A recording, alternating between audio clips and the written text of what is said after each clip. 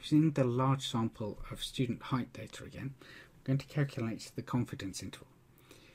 When you're writing up your data and you're summarizing it, if you've got a measurement variable, a scalar variable, you could summarize it using the mean and the standard error, which I've shown previously.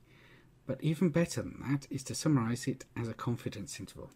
This allows you to see clearly when a scientist understands the depth of statistics when they're presenting their results. Those that give you the confidence interval clearly understand the statistics and the process. Those who give you mean and standard error, they understand it fairly well, and this is a good way to report your data, uh, data but not the best. If they're reporting means and standard deviations, this is not a very good way of reporting data. So let's calculate the confidence interval. Go to descriptive statistics. We're going to pick height. Now you can actually uh, choose different levels of confidence.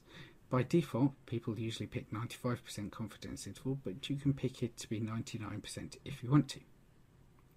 So you do that from the statistics function there. We'll leave it at 95% and press OK. So this gives you the output table. So the 95% confidence interval is between two values. The lower bound is the bottom side below the mean, and the upper bound is the top range above the mean.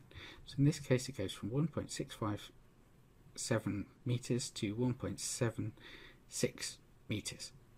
So it's a very narrow confidence interval, and that should be what you report in your table of data.